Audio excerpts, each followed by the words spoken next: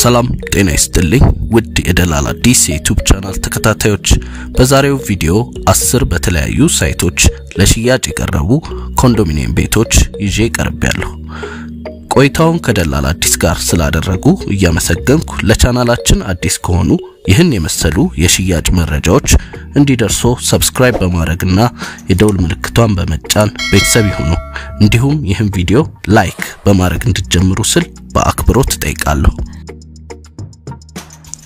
በአንደኛ ደረጃ ለሽያጭ የቀረበው ኮንዶሚኒየም ይህ ኮንዶሚኒየም የሚገኝበት ሳይት ቦሌ አራብሳ ሲሆን የዚህም ኮንዶሚኒየም ስፋት 38 ካሬ ሜትር ነው።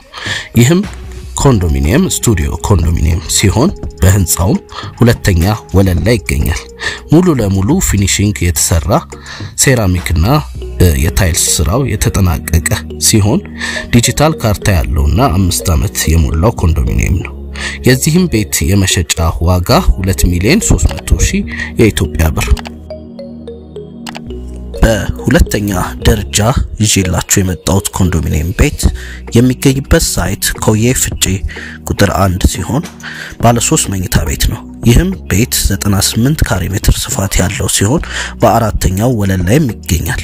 ይህም ቤት ጽድት ተደርጎ የተሰራ የሴራሚክና የታይልስ ስራውን እንዲሁም የጂፕሰም ስራውን ያጠናቀቀ ሲሆን ቤቱም በጥግ ላይ ስለሚገኝ አጥሮ ለብቻው ማድረግ የሚቻል ነው። ይህም ቤት ውሃና መብራት የገባለት ሲሆን በአሁን ሰዓት በወር 10 ሺህ ብር እየተከራየም ይገኛል። ይህም ቤት 20% እዳው የተከፈለለትና የእጣ ቤት ሲሆን በአሁን ሰዓት ላይ ባለቤቶቹ ለዚህ ቤት 3 ሚሊዮን 200 ሺህ ብር የሽያጭ ዋጋ አውጥተውለታል። በሶስተኛ ደረጃ ይዤላችሁ የመጣሁት ኮንዶሚኒየም የሚገኝበት ሳይት ቦሌ አራብሳ ፕሮጀክት 6 ሲሆን የዚህም ኮንዶሚኒየም ስፋት 73 ካሬ ሜትር ነው።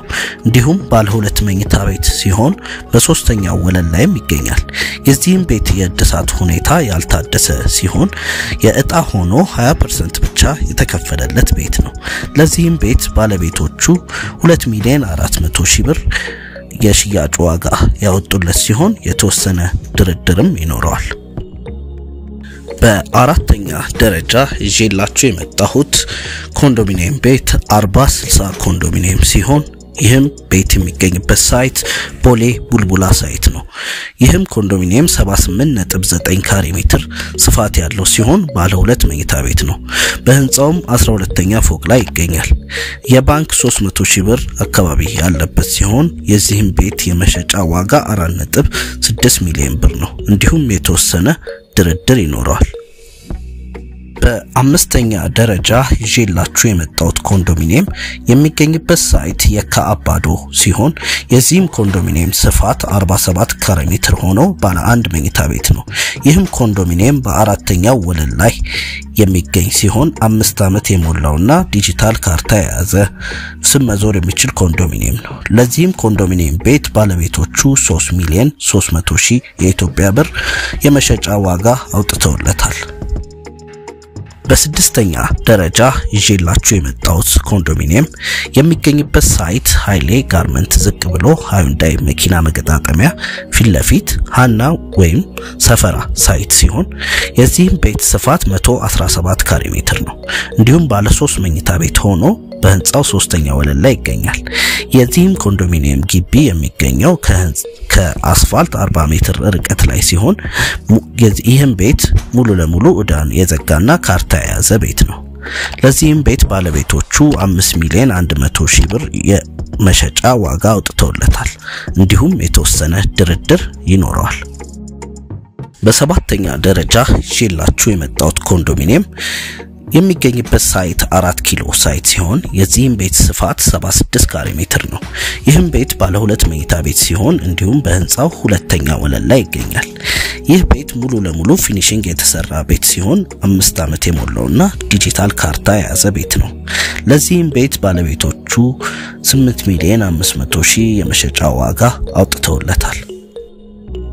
በስምንተኛ ደረጃ ይዤላችሁ የመጣሁት ኮንዶሚኒየም የሚገኝበት ሳይት አያት ሲሆን በተለምዶም ሀያዎቹ የሚባለው ሰፈር ሲሆን ስፋቱ 47 ካሬ ሜትር ነው። እንዲሁም ባለ አንድ መኝታ ቤት ሲሆን በአንደኛው ወለል ላይም ይገኛል። የታይልስ እና የሴራሚክ ስራው ያለቀ ሲሆን እንዲሁም kitchen cabinet የተገጠመለት ቤት ነው።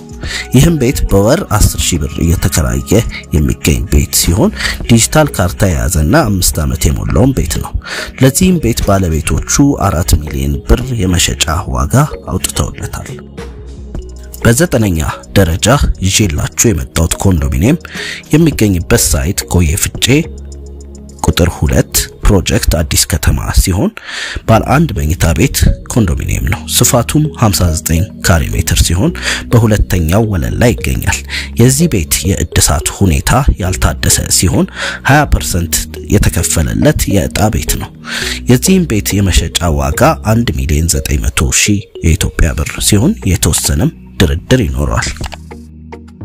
በአስረኛ ደረጃ ይዤላችሁ የመጣሁት ኮንዶሚኒየም የሚገኝበት site ይህም ኮዬ ፍጬ ሁለት ፕሮጀክት 12 ሲሆን ባለ 3 መኝታ ቤት ሆኖ 117 ካሬ ሜትር ስፋት ያለው ኮንዶሚኒየም ቤት ነው።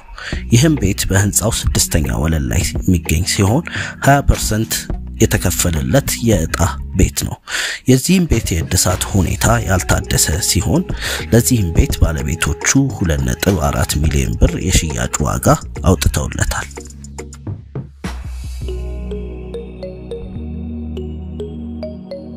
ለዛሬ ይዤላችሁ የቀረብኩት የኮንዶሚኒየም ሽያጭ መረጃ ይህን ይመስል ነበር። የተለያዩ የኮንዶሚኒየም ቤቶች፣ አፓርትመንቶች እንዲሁም ቪላዎች የመሸጥ ወይንም የመግዛት ፍላጎት ካሎት ታች description ላይ ባለው ቁጥር contact ያድርጉን። ምቾቶ በተጠበቀ መልኩ ልናስተናግዶት ዝግጁ ነን። እንዲሁም ሀሳብ አስተያየቶን comment ላይ ያስፍሩልን። ቻናሉንም subscribe በማድረግ ቤተሰብ ይሁኑ። እንዲሁም ቪዲዮውን like እንድታደርጉ ስንል በአክብሮት እንጠይቃለን። በሚቀጥለው ቪዲዮ እስከምንገናኝ ድረስ ቸር እንሰንብት።